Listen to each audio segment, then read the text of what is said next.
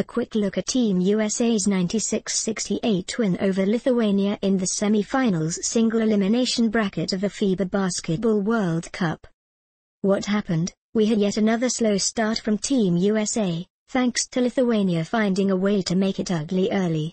That seems to be the recipe for staying in games against the United States, force their hand to play sloppy by slowing the game down with fouls, reach in to deflect errant dribbles, and try to cut off the paint as much as you can. For a while in this game, Lithuania managed to do that. They were down 5 points after the first quarter and kept it to 8 points after the first 20 minutes. But the problem with this recipe is the United States has been great at turning the sloppiness and chippiness into motivation to really pour the points on their opponents.